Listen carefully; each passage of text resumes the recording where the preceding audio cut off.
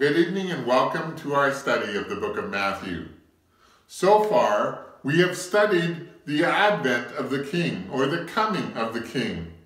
This included the lineage of the king, the birthday of the king, the worship of the king, and the protection of the king. Today I would like us to study Matthew chapter 3 about the herald of the king. I'm reading to you from Matthew chapter 3, starting with verse 1. In those days, John the Baptist came, preaching in the wilderness of Judea, and saying, Repent, for the kingdom of heaven is, has come near. This is he who is spoken of through the prophet Isaiah, a voice calling of one calling in the wilderness, Prepare the way of the Lord, make straight paths for him. John's clothes were made of camel's hair, and he had a leather belt around his waist. His food was locust and wild honey. People went out to him from Jerusalem and all Judea and the whole region of the Jordan. Confessing their sins, they were baptized by him in the Jordan River. But when he saw many of the Pharisees and Sadducees coming to where he was baptized, he said to them, You brood of vipers, who warned you to flee the, wrath, the coming wrath? Produce fruit in keeping with repentance, and do not think you can say to yourselves, We have Abraham as our father. I tell you that out of these stones, God can raise up children for Abraham. The axe has, is already at the root of the trees, and every tree that does not produce good fruit will be cut down and thrown into the fire. I baptize with water for repentance, but after me comes one who is more powerful than I am, whose sandals I am not worthy to carry. He will baptize you with the Holy Spirit and fire. His winnowing fork is in his hand, and he will clear his threshing floor, gathering his wheat into the barn and burning up the chaff with unquenchable fire. Then Jesus came from Galilee to the Jordan to be baptized by John. But John tried to deter him, saying, I baptize, I need to be baptized by you, and do you come to me? Jesus replied, Let it be so now. It is proper for us to do this to fulfill all righteousness. Then John consented. As soon as John was baptized, sorry, as soon as Jesus was baptized, he went up out of the water. At that moment, heaven was opened, and he saw the Spirit of God descending like a dove and alighting on him. And a voice from heaven said, This is my Son, whom I love. With him I am well pleased. Lord, we pray that you will bless this reading of your word and bless us as we study this your word. Help us to understand it and apply its truths to our lives. In Jesus' name I pray, amen. I want you to see three groups or individuals or groups of individuals who came to the desert during this time. I want you to notice that it says in those days. When Matthew says in those days, he's talking about a 30 year gap approximately 30 years between when the Magi went home and uh, Mary and Joseph went to Nazareth with the little child Jesus, and now Jesus has grown up, John the Baptist has grown up, and now we come to the desert, the wilderness of Judea in those days, and there are three groups or individuals that come. The first one is John the Baptist himself. John the Baptist came preaching in the desert, verses 1 to 6. He came to proclaim the word of God, verses 1 and 2.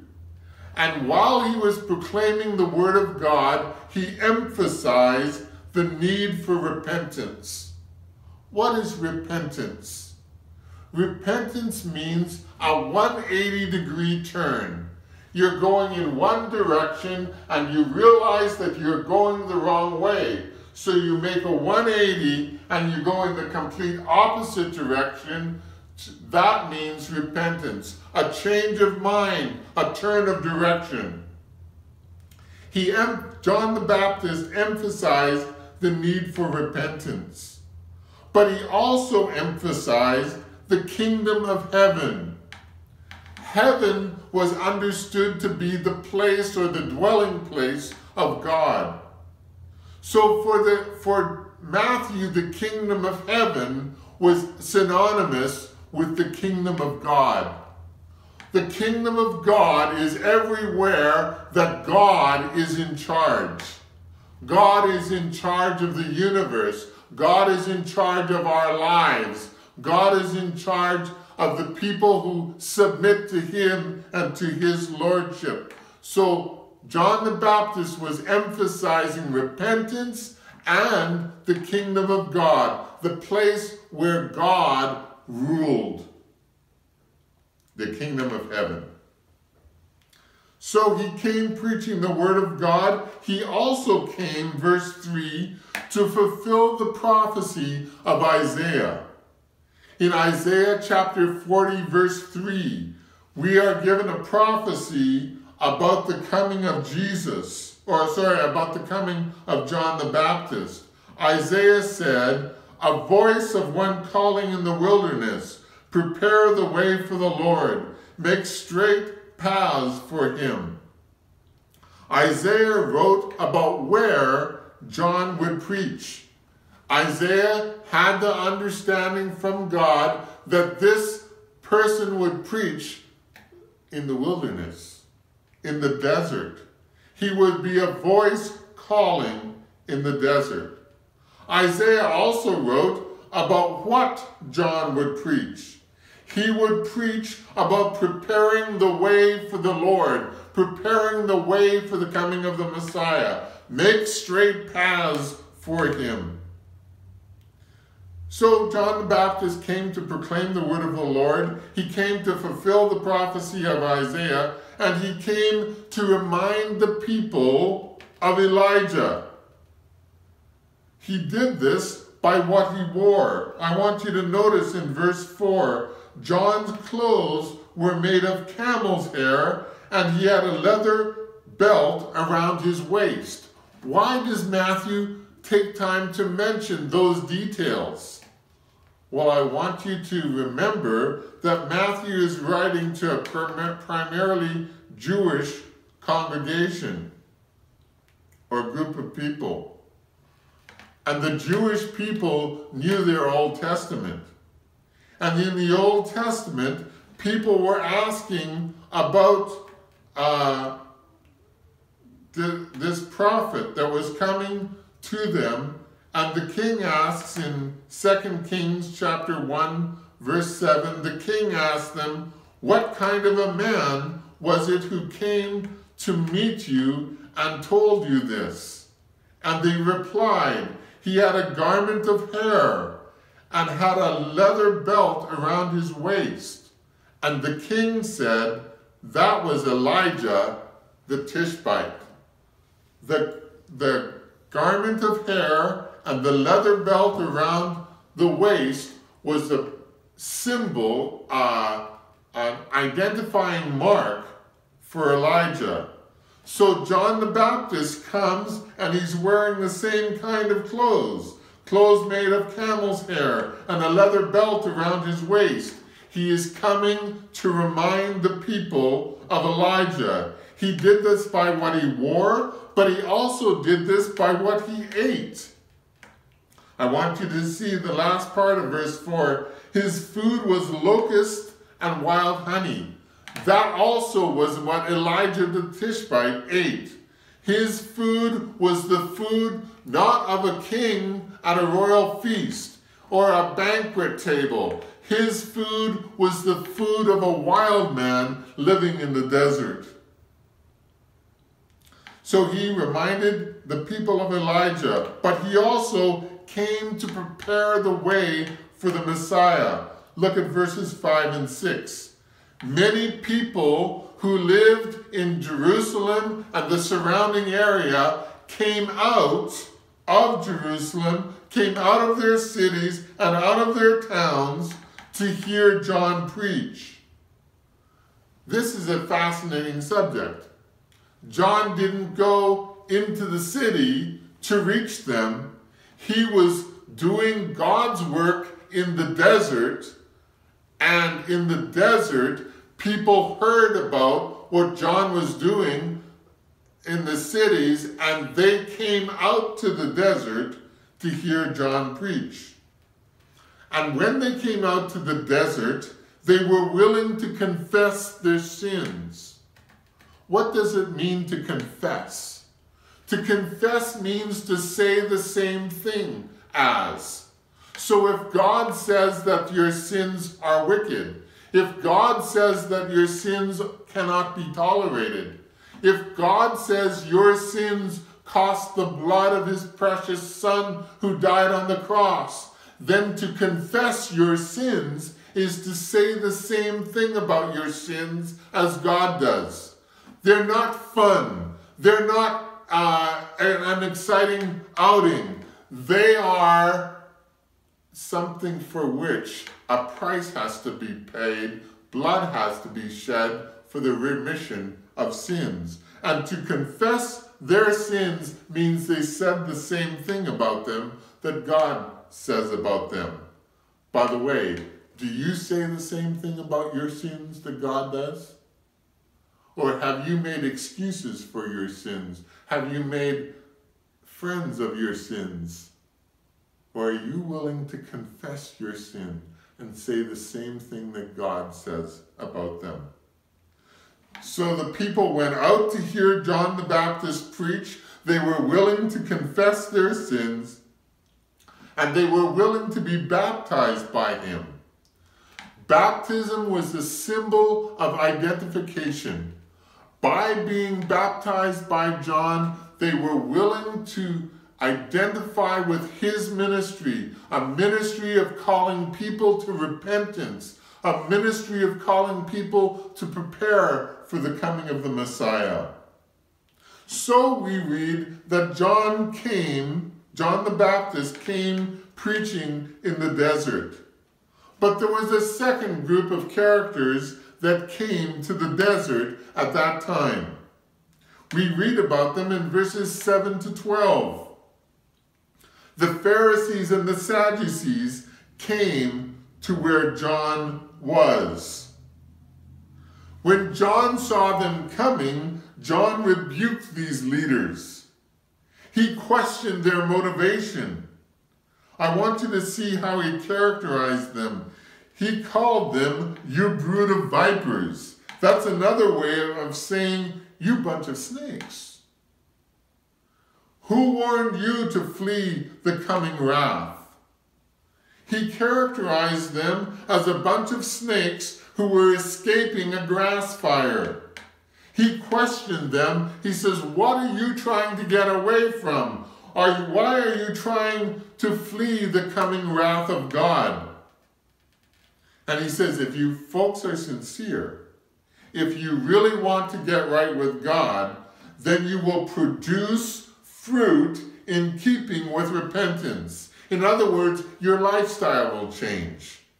If you really are wanting to turn from going the wrong way to going the right way, then you are going to have to show it by a change in your lifestyle. Your mind changes, and when your mind changes, your heart changes, and when your mind and heart change, your feet are going to walk in a different direction. John says, produce fruit in keeping with repentance. Be consistent.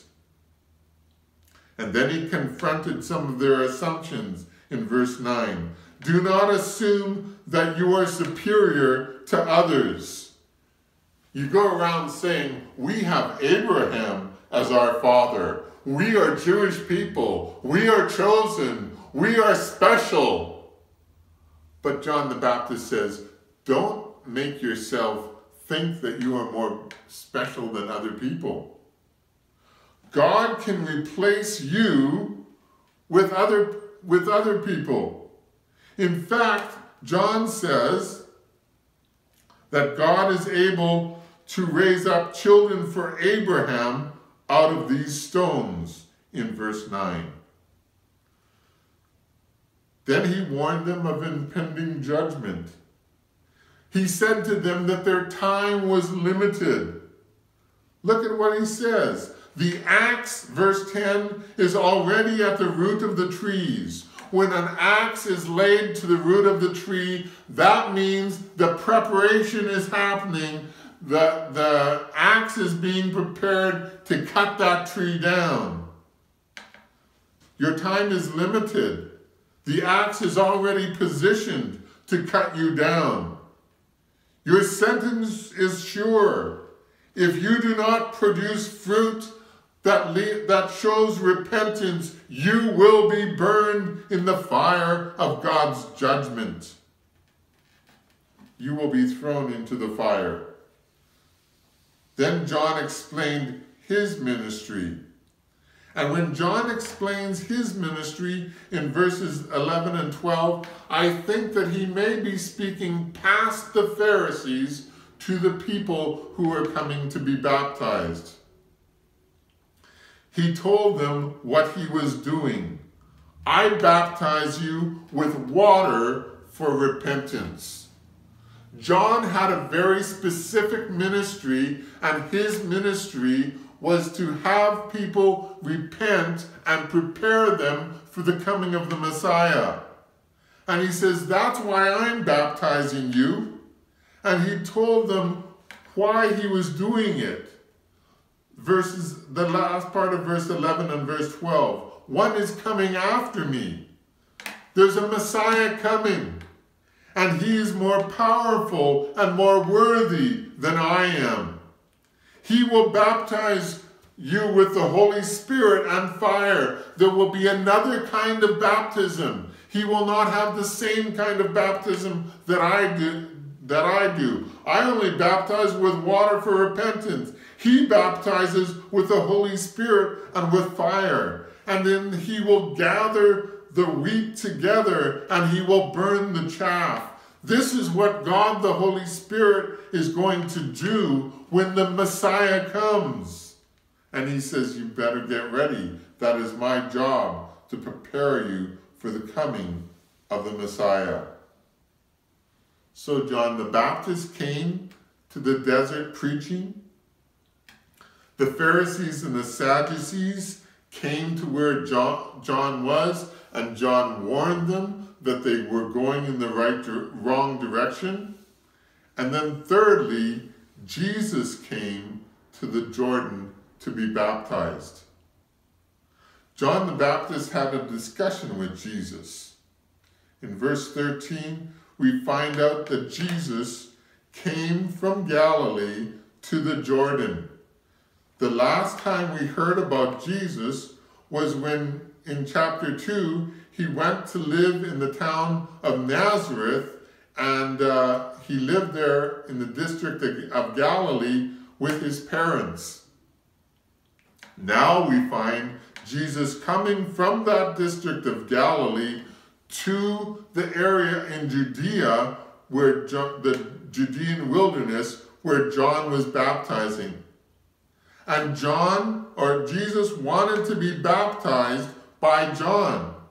But John didn't know about this. He protested. He said, I am the one who really needs to be baptized by you. And why do you come to me? He had an honest question for Jesus. He knew that he was to prepare the way for Jesus, but now that Jesus had come, he wanted to be the first one to be baptized.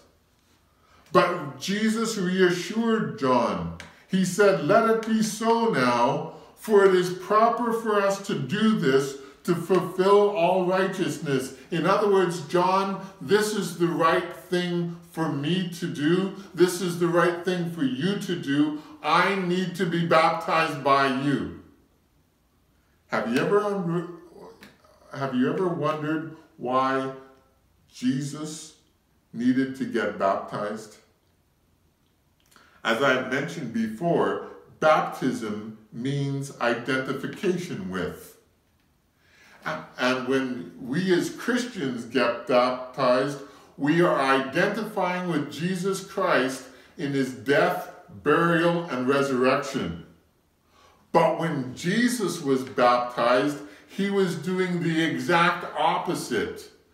Jesus, the God man, was identifying with humanity. Jesus got baptized to identify himself with us. Jesus is the holy, pure Son of God, but Jesus was identifying himself with sinners, which was prophesied that he would. He was identifying with sinners so God could place all of our sin on him, and he became the sin bearer for all of us so that he could pay our penalty and we could be set free. Jesus' baptism was the exact opposite of our baptism. We aren't baptized the way Jesus was. Jesus was baptized to identify with us. We are baptized to identify with him.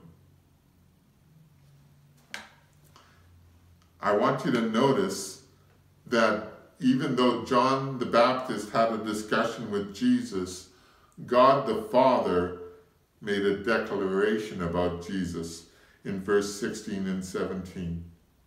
Jesus was baptized in verse 16, and then he went up out of the water. And as soon as he came up out of the water, heaven opened. And uh, the Spirit of God was descending from heaven like a dove, and it landed on Jesus.